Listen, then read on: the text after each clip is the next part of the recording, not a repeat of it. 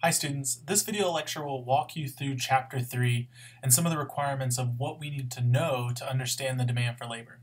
So remember, demand for labor comes from businesses.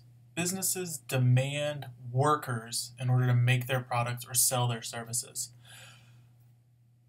Individuals, however, supply that labor. Right? So it's different than what we've been talked about, and we'll, we'll hit this point again multiple times throughout the semester. Businesses demand labor, individuals supply labor. One interesting aspect of the demand for labor is that labor is a derived demand. That means that the demand for labor comes from, or is derived from, demand for the product. So we heard in the Wetzel Pretzel two malls with a minimum wage uh, story from NPR was that whenever the minimum wage went up, the owner of the pretzel shop said, How many pretzels do I need to sell to cover this? Right? Businesses don't say, oh, I want so much labor. Instead, they say, I want to sell blank. How much labor do I need? So let's stop and watch this clip from Moneyball and see if we can figure out what's the problem. The goal that every market, every business faces is trying to answer the question, what's the problem? We'll talk about this uh, once we come back from this short clip. We're trying to solve the problem here, Billy. Not like this. You're not. You're not even looking at the problem. We're very aware of the problem. I mean, Okay, good. What's the problem?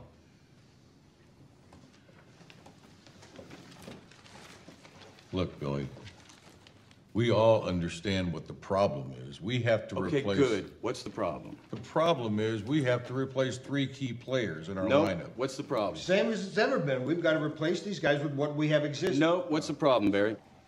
We need 38 home runs, 120 RBIs, and 47 doubles to replace. The problem we're trying to solve is that there are rich teams and there are poor teams. Then there's 50 feet of crap. And then there's us. It's an unfair game. And now we've been gutted. Organ donors for the rich. Boston's taking our kidneys. Yankees taking our heart. And you guys are sitting around talking the same old good body nonsense like we're selling jeans. Like we're looking for Fabio. Think differently. We are the last dog at the bowl. You see what happens to the runt of the litter? He dies. Billy, that's a very touching story and everything, but I think we're all very much aware of what we're facing here. You have a lot of experience and wisdom in this room. Now, you need to have a little bit of faith and let us do the job of replacing Giambi. Is there another first baseman like Giambi? No, not really. No, And if there was, could we afford him? no, nope. Then what the fuck are you talking about, man?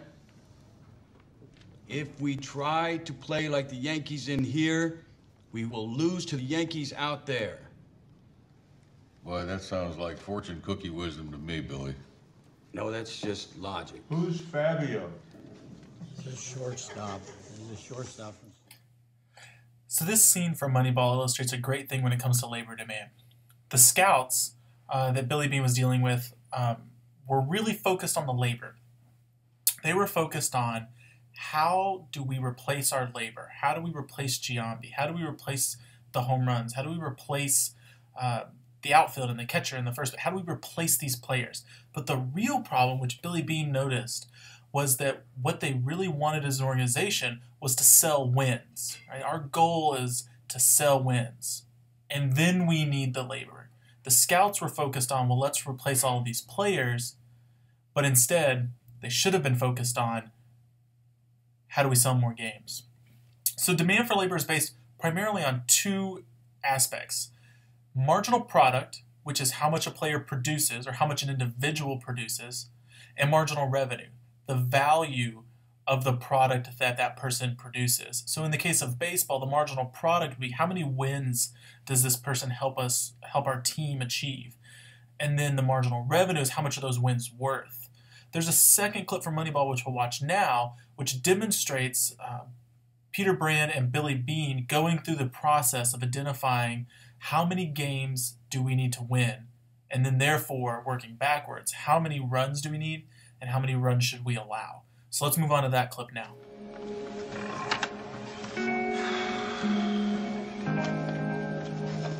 So using this equation on the upper left right here, I'm projecting that we need to win at least 99 games in order to make it to the postseason.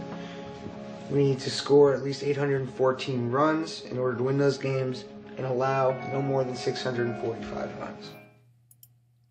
Okay, so that's a great clip that shows organizations thinking about the product that they're producing and then considering the amount of revenue that can be generated uh, behind the scenes and then figuring out what do we need in order to get there, right? How many wins do we need first? Then how many runs do we need? How many runs can we allow? Then let's pick the labor that follows that. So again, demand depends on two things, how productive someone is and the price of the product that they're producing. So the goal of the firm is to increase profits. Recall that we talked about rationality and that uh, firms are profit driven. So the cost of inputs and prices of goods are determined in the market. We're going to focus on perfect competition and we'll move in later to other markets uh, where that isn't necessarily the case. But for the sake of just starting with, uh, with the demand for labor, let's assume that the cost of inputs and the prices of those goods are the same and that they're determined by the market. So the market determines how much I have to pay my players and how much I get to sell my games for. Also, part of that profit maximization is that the firms get to decide whether and how much to increase or decrease production. While this may not actually be true for baseball, we can look at other markets where they actually decide how many sandwiches do we sell today? How many bat- bats do we sell? How many baseballs do we sell? We get to determine whether we sell at all and how much we get to sell. This is known as making decisions at the margin. The idea is, I, as I produce, I decide, do I want to produce another one? Do I want to produce another one? Do I want to produce another one? This isn't an either or type decision. It's not a I produce or I don't produce. Right? That's started off, and then it turns into how many I choose to produce. Firms don't make big decisions every day.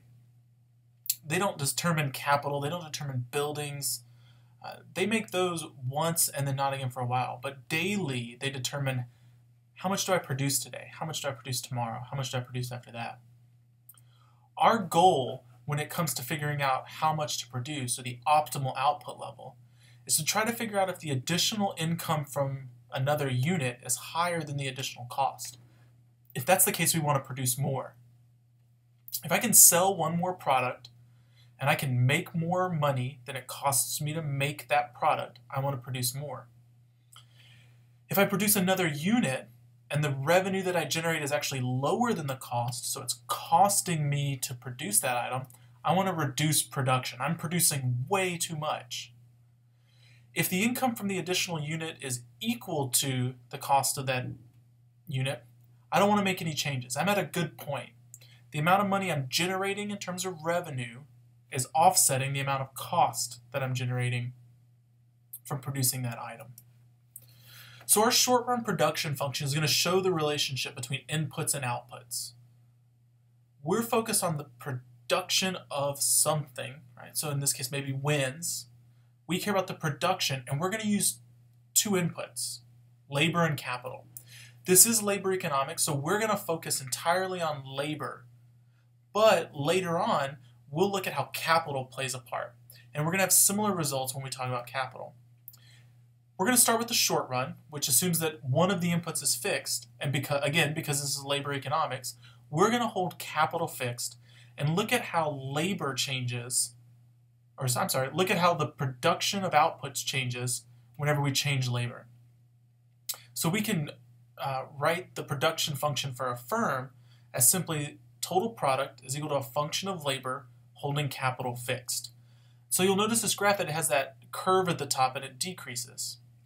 Primarily that's because of what's known as diminishing returns. So total product is the total amount of output produced by quantity and a fixed amount of labor. Marginal product is looking at how much additional product is created when we add one additional unit of labor.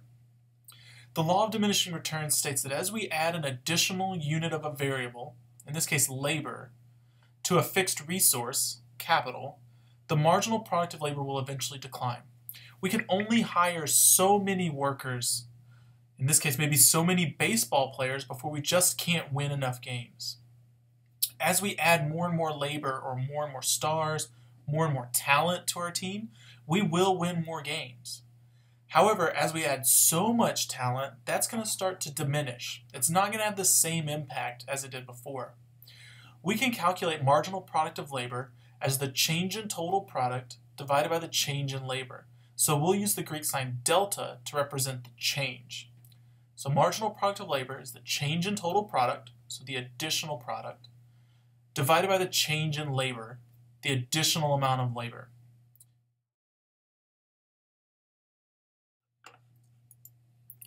Let's take a look at how we actually graph uh, marginal product of labor. So we'll work through the table first, and then we'll go on to graph. So again, remember the marginal product of labor is the change in total product associated with one additional unit of labor. So using this table from the slides, let's look at what happens as we increase our number of workers from 0 to 1, 2, 3, 4, and 5. Our total product will be the total number of wins that this team produces. I'm setting the marginal or the total product of wins to a relatively low value um, just to keep the numbers relatively simple and not necessarily in line with baseball. We'll then go through and calculate the marginal product, which is the change in total product when adding another worker.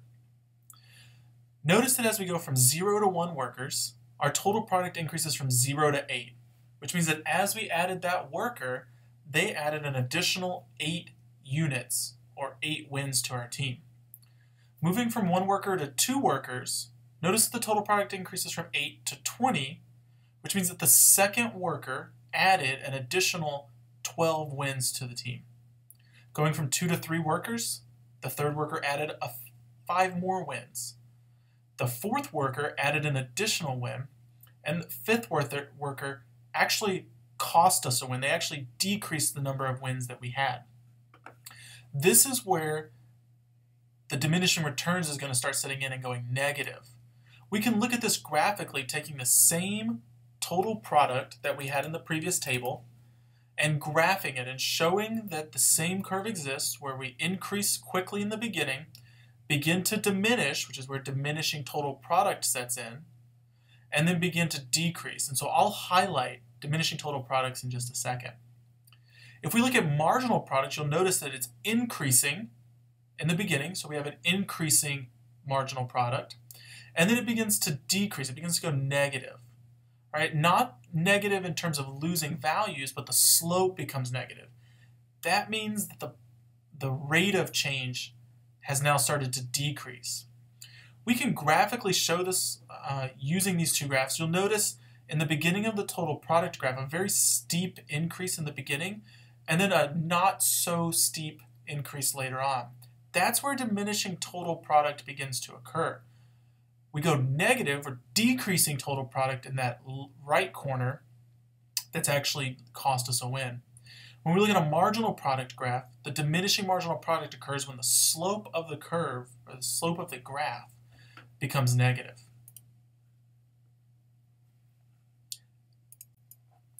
Let's now look at the case on trying to calculate the short-run demand for labor when both the product and the labor markets are competitive that means that the firm is producing a in a perfectly competitive market. Now, while baseball might not be the best example for this, something in the agricultural markets, maybe corn or milk, would be a better example of a perfectly competitive good. The idea is that the firm is a price taker. No matter what their production function, they receive the same price for their product, each product that they make. We're also going to assume that the labor markets are competitive which means that the inputs that we are using are identical. Again, perhaps baseball is not the best example of identical inputs. However, we can consider baseball in terms of talent, where each player possesses a unit of talent, and the talent units are identical. Some players just have more talent than others. But again, to make it simpler, let's use an example of perhaps a farmer or a field worker who has similar skills and are easily substitutable in this situation where labor markets are competitive, we're going to assume that the wage is a is given and that the firm can't control the wage. So again, a perfectly competitive firm is a price taker. That means they cannot set their own price. They must sell at the market price, and they must hire at a market wage. Again, we'll look later as we change some of these assumptions, but we're going to start with the foundation and then build from there. Companies want to hire workers as long as the additional revenue, which we'll call marginal revenue, is more than the additional cost, the marginal cost.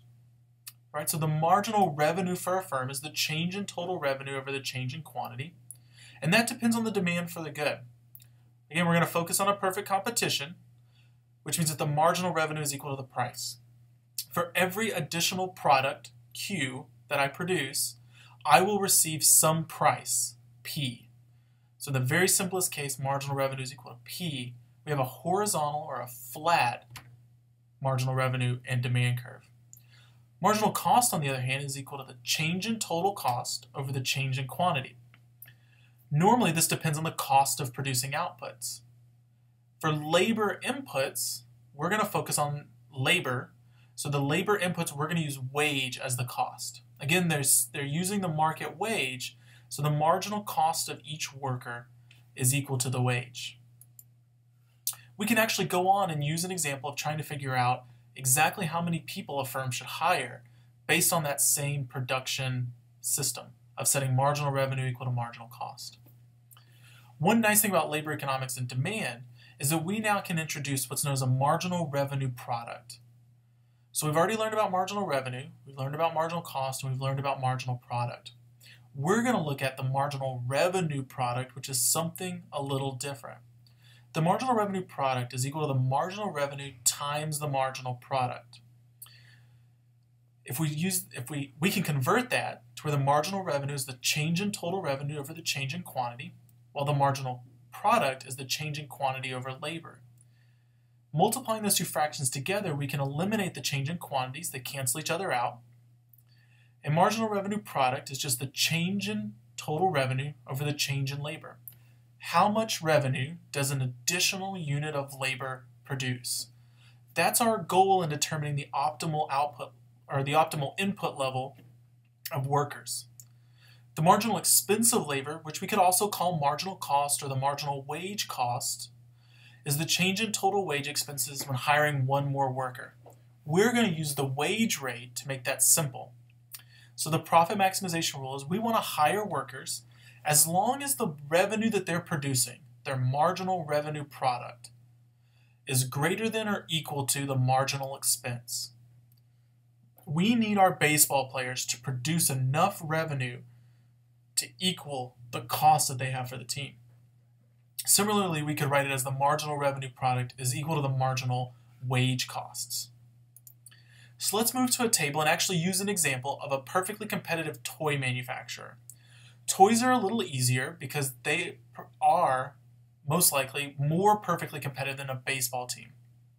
We're going to assume that the toy manufacturer can sell their stuffed bears for $5 each. We're also going to assume that the market wage for workers is $25 an hour. So again, remember, we're looking at a perfectly competitive goods market, so the teddy bears all sell for $5 and we're looking at a perfectly competitive labor market, which means each worker is going to earn $25 an hour regardless of their skills. We're assuming that all of these workers are identical. So you could be given a table like this on an exam and asked to calculate and fill in all of the spots that are blank. Just knowing the amount of labor and the amount of quantity that that labor, labor produces and the information in our example, we can compute the entire table. Let's start with the easiest pieces. So instead of working left to right, which we could, let's fill in exactly what we know. I always recommend this as a tool for taking exam because you're guaranteed to get some points if you can fill in the obvious. Well, the first thing we know is that the price of teddy bears never changes because it's a perfectly competitive market. So regardless of the number of bears that we sell, the price is always going to be $5 per bear. So we can fill in $5 in that column. We can also calculate the total revenue, which is easy to calculate because it's the price times the quantity. The total amount of money we generate is the total number of bears we sell, Q, multiplied by how much we can sell those bears for. So you'll notice that 10, if we sell 10 bears, we earn $50 in revenue, whereas if we sell 33 bears, we'll earn $165 in revenue. Those are probably the two easiest to calculate. We can calculate marginal product which is simply just the change in product from adding an additional worker. So going from zero to one workers, we go from zero teddy bears to 10 teddy bears. So that worker produces 10 bears. Going from one to two workers, the second worker produces an additional nine bears, from 10 to 19. And we can fill in that column all the way down, where the fifth worker is earning or is producing four additional bears. Now that we've calculated marginal product, we can calculate marginal revenue product, which is marginal revenue times marginal product. Our marginal revenue in this case is equal to the price because it's a perfectly competitive market. So what we want to do is multiply the price times the marginal product. And that will help us calculate the column for marginal revenue product. The marginal wage cost is the additional wage from hiring one additional worker. We're going to assume that the workers make $25 an hour and that the labor represents the number of hours used to produce bears. So for each hour, we're going to pay $25 per hour. Again, this is similar to price and it's quick to fill out. It's $25 for every hour. Total costs are easy to calculate as well. It's the marginal wage cost, which is the wage we're paying our workers, times the amount of hours that they're working.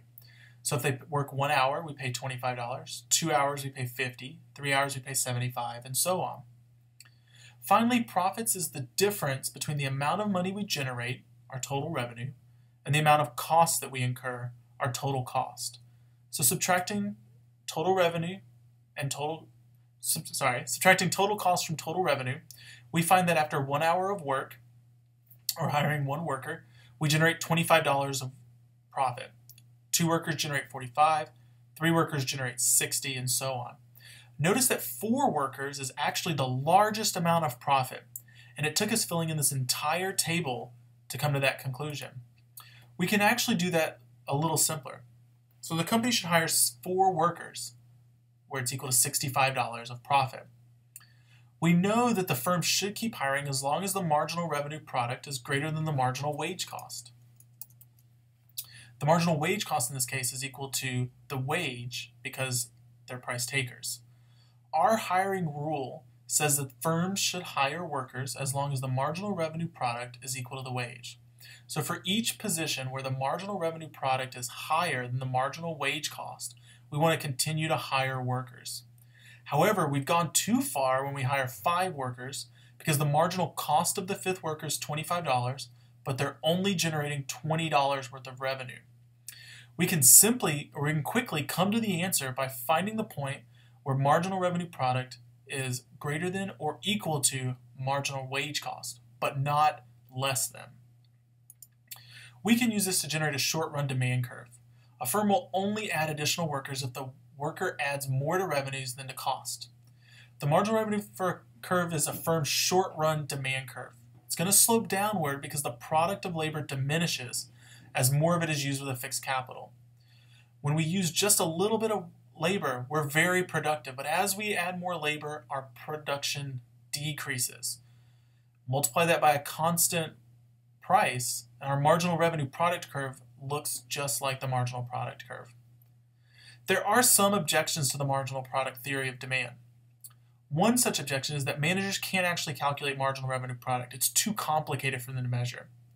If this was really the case, we'd expect competition would weed out the bad producers. The ones who are really good about calculating marginal revenue product or coming very close to it would continue to be successful and maximize their profit, whereas the ones that truly couldn't calculate it would be eliminated. The second objection is that you can't measure the output of individual workers. However, you can divide labor easily to measure productivity, which is exactly what they do in Moneyball they talk about dividing players and dividing a team into at bats and trying to find the workers who are most productive at getting on base and producing wins. So while these objections to marginal product theory demand uh, seem based in actuality, they're truthfully not.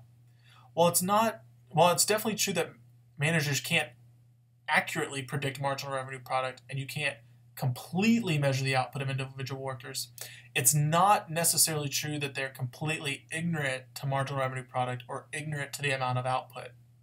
We're probably somewhere in between, leaning closer to being able to perfectly predict marginal revenue product, even if we're not exactly there. This will end our introduction to the short run labor demand curve. On Monday, we'll pick up where we left off and we'll start looking at how capital plays into the equation whenever we start controlling for capital and how firms substitute between capital and labor. I hope you enjoyed this video, and I'm sure you'll be seeing more of these throughout the semester. Thanks.